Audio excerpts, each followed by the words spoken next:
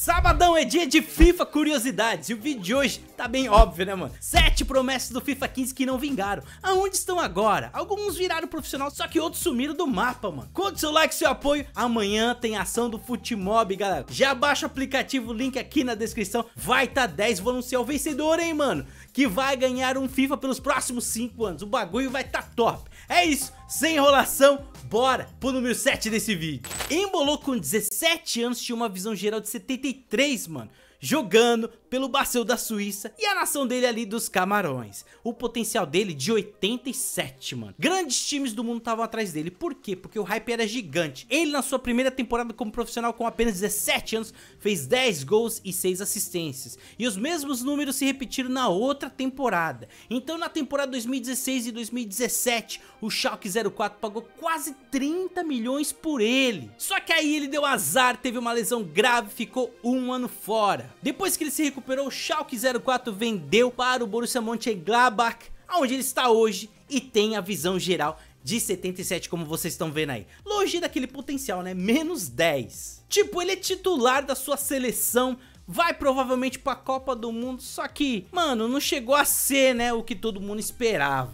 Só que ele é novo ainda, tem 24 anos. Vocês acham que ele ainda pode chegar perto desse potencial? Ou o nível dele é de 85 pra cima? Fala pra mim, galera. O próximo jogador, mano, o apelido dele era nada mais, nada menos que o novo Robin. Sim, mano, porque que nem o embolou, o hype era grande. Richairo Zivkovic tinha 17 anos e o potencial de 85 no FIFA 15. E galera, olha essa cartinha que eu fiz dele com o símbolo do Liverpool e tudo mais. Aí você me pergunta, Fredão, por que você fez isso? Porque quando ele estreou com 16 anos jogando pelo FC Groningen da Holanda, ele foi o jogador mais jovem a fazer um gol pelo clube, mano. Passando um certo Robin. O Ajax comprou ele na esperança dele vingar no mesmo esquema que eles fizeram com o Luiz Soares, que também era do FC Groningen. Compra ele do Groningen, vinga e depois vende para um timaço da Europa. Então eles fizeram isso achando que grandes clubes da Europa viriam atrás dele, mano. E olha só essa notícia de 2015. Liverpool pondera a transferência de Richards e Vichovic depois que a estrela de Groningen é chamada de novo Robin, mano. Mano, com 16 anos, a Europa tava atrás desse moleque. Só que devido a problemas extracampo, vamos ser sinceros, galera, essa é provavelmente a visão geral dele, mano. Ele não está mais no FIFA 22, a sua última cartinha foi no FIFA 21 jogando lá pela China e hoje ele joga na Estrela Vermelha da Sérvia. Então fiz essa cartinha mais ou menos para vocês terem uma ideia de como seria a cartinha dele, visto que não tem, né, mano? Olha só como ele tá hoje e olha só o que todo mundo esperava dele, mano. Talvez se ele vingasse, o Salah nem precisava ter ido pro Liverpool. Bora falar de um sul-americano zagueiro colombiano que jogava do River Plate. Mano, o cara é tão hypado que no meu modo carreira com Nottingham Forest, ele foi o meu zagueirão que a gente acabou ganhando a Champions League.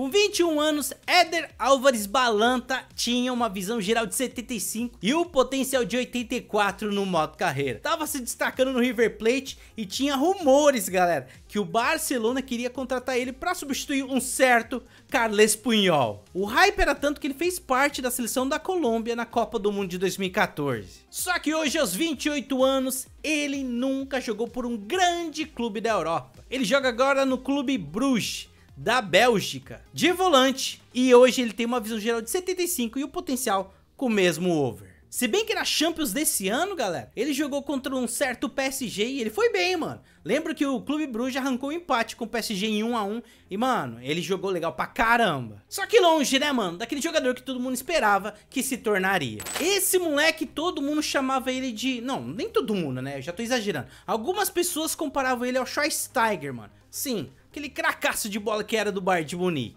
Com 20 anos, Johannes Geis era do mais 05 e ele era volante e tinha uma visão geral boa, mano, de 78. Seu potencial era de 85, então sim, Todo mundo achava que talvez ele iria para um Bayern de Munique da vida, um Borussia Dortmund. Na sua primeira temporada como profissional na Bundesliga, ele fez 7 assistências. Na temporada seguinte fez 4 gols, 4 assistências, isso como um volante, mano. Então com isso, o Schalke 04 foi lá e pagou 12 milhões por ele. Jogou até legal no início, mas não vingou e hoje, galera, meu amigo, a queda foi brusca. Ele tem 27 anos e joga no Nuremberg da segunda divisão da Bundesliga. Meu amigo, o que aconteceu com esse cara, velho? Eu fui pesquisar, mano, não encontrei nada de lesão, problema extracampo. Aliás, ele foi até pras Olimpíadas. Simplesmente depois, mano, o cara caiu pra caramba. Até a barba dele tá mal feita, né? Quando eu fiz a cartinha do Bar de Munique, ó, cara tava bonitinho, tem mais grana e tudo mais, mas não era pra ser, infelizmente.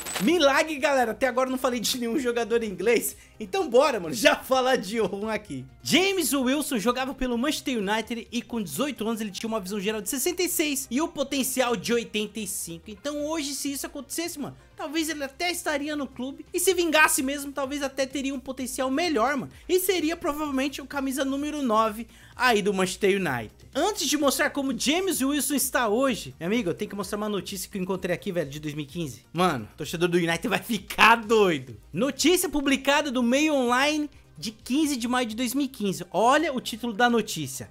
Harry Kane seria um grande sucesso no Manchester United. Mais 45 milhões de libras esterlinas é demais! E a contratação prejudicaria o progresso de James Wilson. A opinião de um torcedor jornalista aqui, meu. Olha essa loucura, mano. O Manchester United teve a oportunidade de comprar o Harry Kane, mas não quis para dar oportunidade pro James Wilson evoluir. E a notícia ainda fala, hein, mano. O atacante de 19 anos, o James Wilson, mostrou muito mais promessa do que Kane naquela fase da sua carreira. Então, tipo assim, esse jornal achava que era melhor bancar o James Wilson do que um jovem Harry Kane que talvez não ia dar certo. Então, de um potencial que ele tinha de 85 no FIFA 15, hoje a realidade é bem diferente. Ele tem uma visão geral de 63, com 25 anos jogando pelo Port Vale da quarta divisão inglesa. Meu amigo, para você ver que o Manchester United, ó, top de negócio, meu.